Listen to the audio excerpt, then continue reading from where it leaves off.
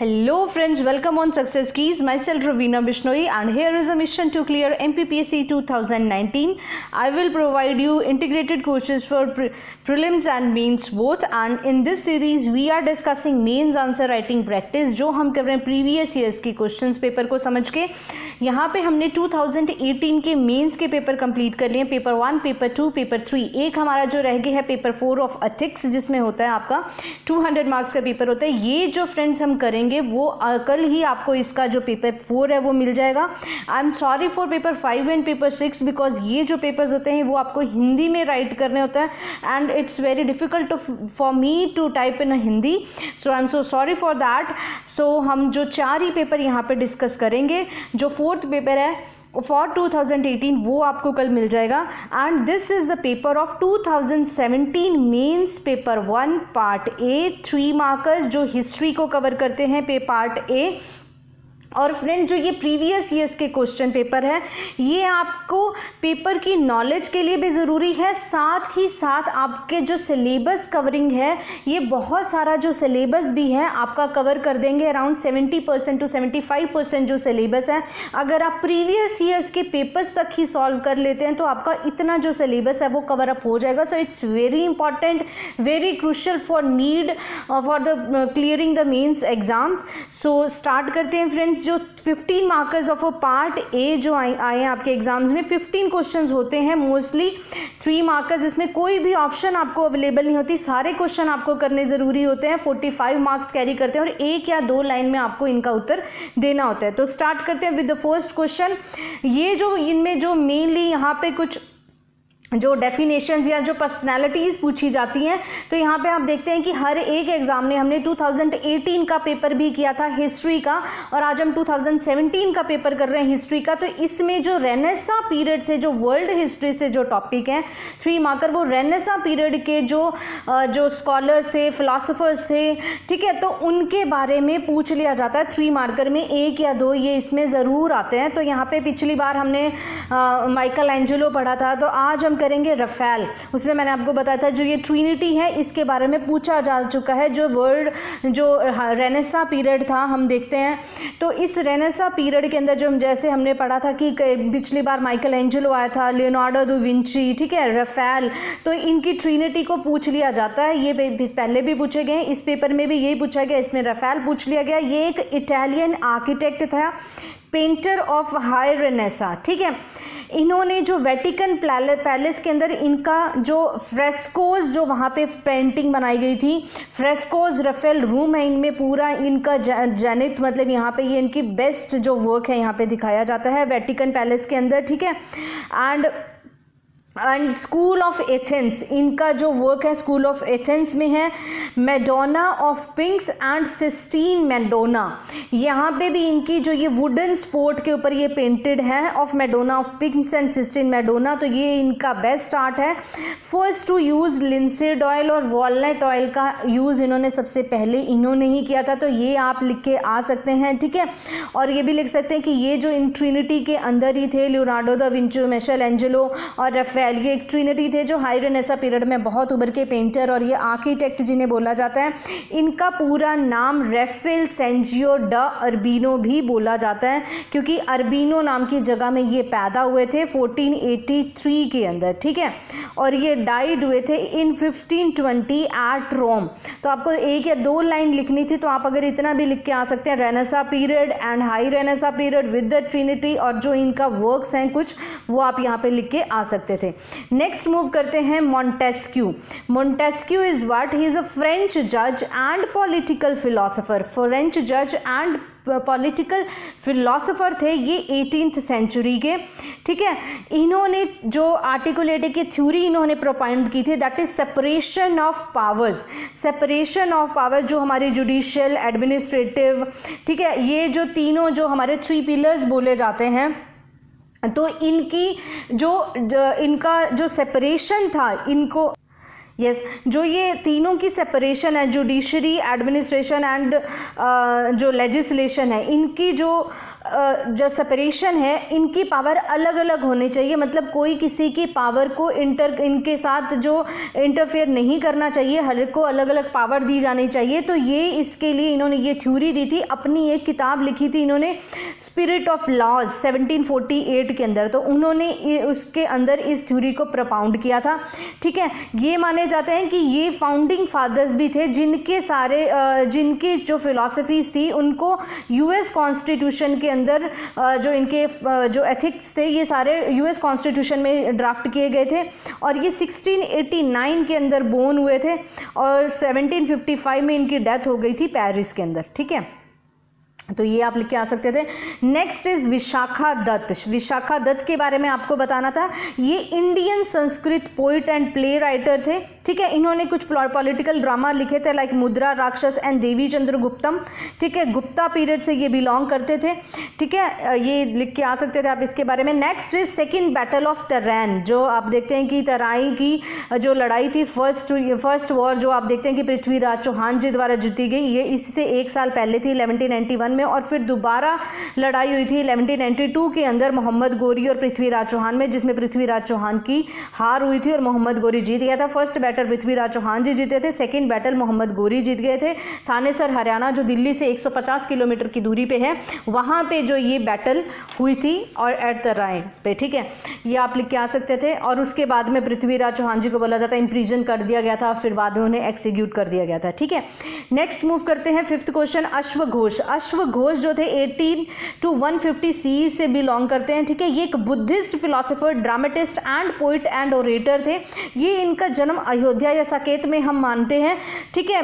ये कालिदास से पहले के जो मतलब अगर जो बेस्ट फिलोसफर राइटर माना जाता है तो कालिदास से पहले के ये थे अश्व इनको काफ़ी ज़्यादा वर्क इन्होंने किया था, सबसे ज़्यादा था इनका बुद्ध चरित्र, बुद्ध सॉरी दैट वो mistake that is it's Buddha Charit next Sutra Alankara Shariputra प्रमाणम ठीक है ये इन्होंने लिखे थे। इसके अलावा भी इनके आ, कुछ थे सुंदरनंदा सुंदरनंदा जो काव्य पोइम थी। और इनको ये भी बोला जाता है कि इन्होंने जो संस्कृत पोइट्री के अंदर जो काव्य लिखने की शुरुआत इन्होंने ही की थी तो ये भी इनके लिए बोला जाता है। नेक्स्ट मूव करते हैं बैटल ऑफ़ कलिंगा कलिंगा की जो युद्ध हुआ था उसके बारे में बताना है। तो ये हुआ था टू 261 बीसी ओडिशा के अंदर।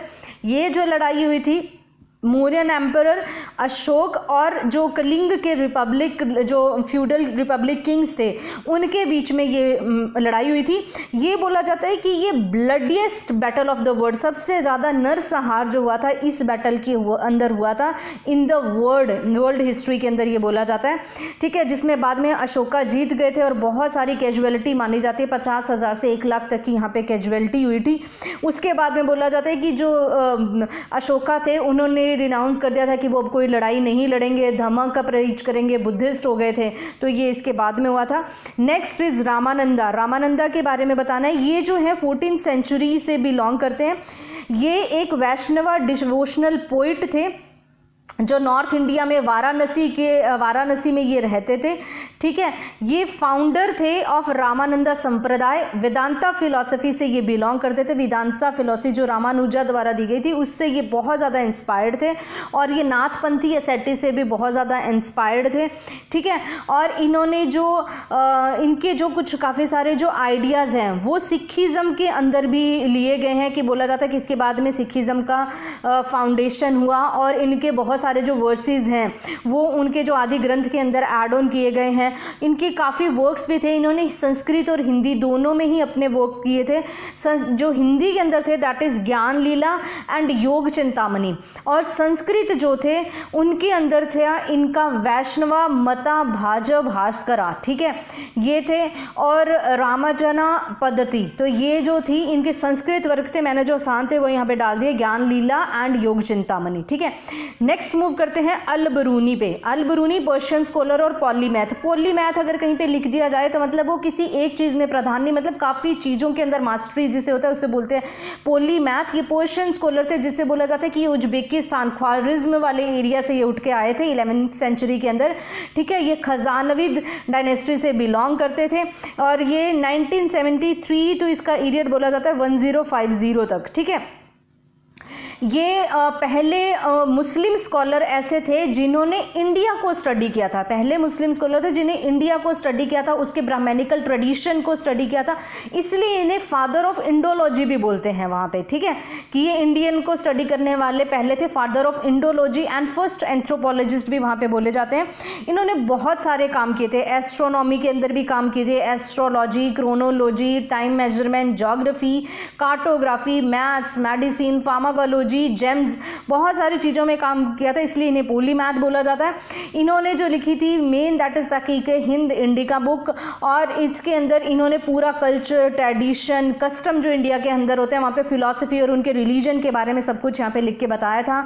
और उसके बाद इनकी जो थी, किताब अल कानून अल मासूदी, जो थी एस्ट्रोमी एस्ट्रोनॉमी जोग्राफी इंजीनियरिंग वर्क जो था, मासूदी के टाइम के, उस पीरियड के अंदर ये लिखी गई थी। उसके बाद में इन्होंने remaining reading science of pass century भी लिखा जेम्स भी लिखा हिस्ट्री ऑफ़ ख्वारिज्म भी इन्होंने लिखा इन्होंने रिसाला ए अलबरूनी, ये भी इनके द्वारा लिखी गई थी, ठीक है? तो ये अलबरूनी के वर्क हैं। नेक्स्ट आते हैं ईश्वर चंद्र विद्यासागर। ईश्वर चंद्र विद्यासागर का टाइम पीरियड आता है eighteen twenty two eighteen ninety one ये वेस्ट बंगाल से बिलोंग करते थे।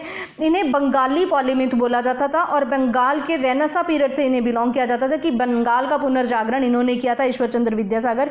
ये एक राइटर भी थे फिलोसफर भी थे स्कॉलर स्कॉलर भी थे रिफॉर्मर भी थे पब्लिशर भी थे एजुकेटर भी थे तो इसलिए इन्हें पोली मैथ बोला जाता है। इन्होंने ही फोर्स किया था ब्रिटिशर को कि वो विटो रीमैरिज एक्ट पास करें, ठीक है? एंड ही इन्होंने जो काफ़ी अपने ऑथरी करी थी ऑथर थे ये बेताल बेताल पंच बिनसंती ठीक है? दैट इज़ पंच, बेताल पंच बिनसंती उप्र क्रमानिका बंगाल के, बंगाली जो अल्फ़ाबेट्स होते हैं, उनको रिकंस्ट्रक्टर करके इजी इन्होंने बनाया था, ठीक है?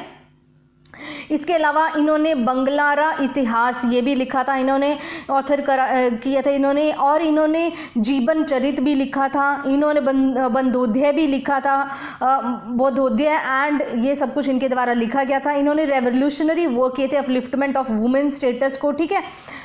और उसके बाद में ये फोर्ट विलियम कॉलेज के अंदर ये हेड ऑफ़ संस्कृत डिपार्टमेंट भी थे। फोर्ट विलियम कॉलेज के अंदर 1840 फंड के अंदर ये हेड ऑफ़ संस्कृत डिपार्टमेंट भी रहे थे, ठीक है? नेक्स्ट मूव करते हैं चोरा चोरी इंसिडेंट सभी को आपको मालूम होगा, ये गोरखपुर यूपी के अंदर पाँच फरवरी 1922 के अंदर हुआ था। यहाँ पे क्या हुआ था कि जो प्रोटेस्टर थे, इन्होंने जो नॉन कॉपरेशन मूवमेंट के लिए प्रोटेस्ट करते थे, इनको जब मतलब पुलिस ने कुछ गोलियाँ चलाई इन पर तो इन्होंने क्या हुआ, बोले पुलिस स्टेशन के ऊपर ही अटैक कर दिया था और वहाँ पे ट्वेंटी थ्री पुलिसमैन डेथ हो गए थे। उसके साथ में कुछ तीन सिविलियन भी यहाँ पे मारे गए थे, जिसके बाद में महात्मा गांधी जी ने जो नॉन कॉपरेशन मूवमेंट है, उसको होल्ड कर दिया था, उसको बंद कर दिया था। 12 फरवरी को, ठीक है? उसके बाद में इनका काफ़ी क्रिटिसाइज भी हुआ कि गांधी जी ने क्यों बंद किया? काफ़ी लोग इनसे अलग भी हो गए पार्टीशन भी हो गई थी काफ़ी कांग्रेस के अंदर तो ये सब कुछ हुआ था बट ये आपको चोरा चोरी इंसिडेंट यहाँ पर लिखना था। नेक्स्ट मूव करते हैं Subhadra Kumari Chauhan. Subhadra Kumari Chauhan nineteen zero four to nineteen forty eight, ये अलाहाबाद के अंदर बोन हुई थी। उसके बाद में ये मैरिज करके जबलपुर के अंदर आ गई थी, ठीक है? इन्होंने वीर रस की पोइट्री को कंपोज किया था। इनकी काफ़ी सारी पोइम है, झांसी की रानी, सीधे साधे चित्र, वीरों का कैसा हो बसंत, खिलौने वाला त्रिधारा, मुकुल, ठीक है, वो, वे कदम्ब के पेड़, ठीक है, और मेरा नया बचपन, ये सब कुछ इन्हीं की हैं, बिखरे मोती तो ये काफ़ी सारी हैं, इनके साथ बिलोंग करते हुए आप लिखे आ सकते थे। यहाँ पर इनकी काफ़ी सारा आपके पास मटीरियल था जो आप साथ यहाँ पर लिखे आ सकते थे। नेक्स्ट मूव करते हैं बिरसा मुंडा। बिरसा मुंडा सिर्फ़ पच्चीस साल तक के लिए ये जिए थे बट बहुत कुछ करके गए थे ये मुंडा संप्रदाय के लिए। 1875 to 1900 tribal fighter, religious leader of Munda tribe, ठीक है? और इनको लोग क्या थे? एक भगवान की तरह भी, अर्थ बाबा भी इन्हें बोलते थे, इनकी लोग पूजा भी करते थे, ठीक है? इन्होंने बहुत ही बोलते थे कि इनके पास कुछ करिश्माई ताकत भी हैं, ठीक है? मुंडा हमारे साथ हैं, बिरसा मुंडा जी हैं। ट्राइबल मूवमेंट की थी इन्होंने एटीन के अंदर भी, और एटीन में इन्होंने कुछ 400 सोल्जर्स मुंडा इंडिया को अपने साथ लेके इन्होंने ब्रिटिशर्स के ऊपर अटैक किया था। बहुत ही भयानक ये लड़ाई हुई थी। काफ़ी हद तक उनको स्ट्रेस किया था। इन्होंने अपने एरोज़ और पैग लेके यहाँ पे पुलिस स्टेशन के ऊपर इन्होंने रेड कर दिया था क्लैश कर दिया था ब्रिटिशर्स को। यहाँ पे on the bank of river Tanga के ऊपर यहाँ पे इन्होंने काफ़ी अच्छी लड़ाई लड़ी थी। इंग्लिश आर्मी को इन्होंने पूरी तरह से डिफीट कर दिया था। यहाँ पे बाद में इनको पकड़ लिया गया, जेल में डाल दिया गया। रांची जेल में फिर मानते हैं कि इनकी बाद में डेथ हो गई थी। ठीक है? कॉलरा के कारण इनकी डेथ मानी जाती है बट वो नहीं पता किसकी वजह से और बाद में इनकी डेथ हो गई थी इन रांची जेल, ठीक है? नेक्स्ट मूव करते हैं, भवभूति। भवभूति थी Sanskrit poet playwright of eighth century ठीक है? इन्होंने जो थे, इन्होंने लिखी है महावीर चरित एंड मालती वाधव, इनकी जो मेन इनकी जो रचनाएँ हैं, और उत्तर रामचरित्र, ये भी इन्होंने इसके द्वारा ही लिखी गई हैं। ये कोट पोइट थे यशोमर्मन और कन्नौज के, ठीक है? ये लिख सकते थे आप इनके बारे में। नेक्स्ट मूव करते हैं, पेशवा बाजीराव टू। बाजीराव मस्तानी देखी होगी। Peshwa of fifth Maratha Chhatrapati Shahu seventeen ये पाँचवें मराठा छत्रपति जो शाहू महाराज जी थे, इन इनके ये वहाँ पे पेशवा थे उनके ये, ठीक है? और ये अपने टिल डेथ तक वो पेशवा रहे थे। सत्तर, सत्रह में ये बनाए गए थे और 1740 तक ये पेशवा रहे थे टिल टिल देयर डेथ, ठीक है? कंट्रीब्यूटर थे, मेजर सबसे ज़्यादा जो इनके टाइम पे बहुत ज़्यादा एक्सपेंशन हुई थी मराठा कॉन्फिडरेसी की। और इन्होंने बोला जाता है कि इन्होंने कोई भी बैटल अपनी लाइफ में नहीं हारी थी, ठीक है? और इनका जो मतलब नाम था बाजीराव बल्लाल के नाम से भी ये जाने जाते थे, ठीक है? इनसे पहले पहले जो इनको सक्सीड किया था बालाजी बाजीराव ने, ठीक है?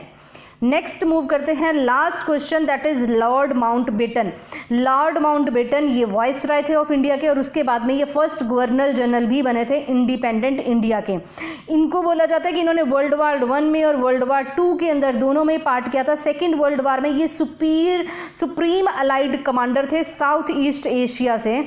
अलाइड कमांडर थे साउथ ईस्ट एशिया से. उसके और ये इंग्लैंड के अंदर बोर्न हुए थे और 1979 के अंदर इनकी आयरलैंड के अंदर डेथ हो गई थी और इसके बाद में जो ये थे आ, ये इन्होंने इनको फ़र्स्ट सी लॉर्ड भी बना दिया गया था 1954 से 59 के अंदर फ़र्स्ट सी लॉर्ड भी ये बने थे ठीक है? तो ये सब कुछ है इनके बारे में। नेक्स्ट करेंगे stay tuned with me for the six markers okay thanks for watching the video comment for your worthy feedback thank you have a nice day जय हिंद जय भारत बाय टेक केयर